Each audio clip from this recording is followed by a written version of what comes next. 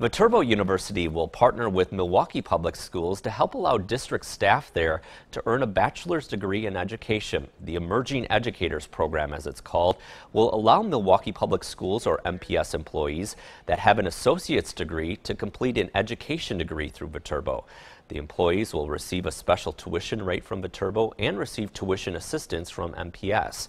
40 MPS staff members are currently enrolled in the program where they work during the day and take classes during the evening within the district. The program fills a need for schools all across Wisconsin. But we know that there are lots of paraprofessionals and people with associate degrees working in districts who already love education, who already love kids.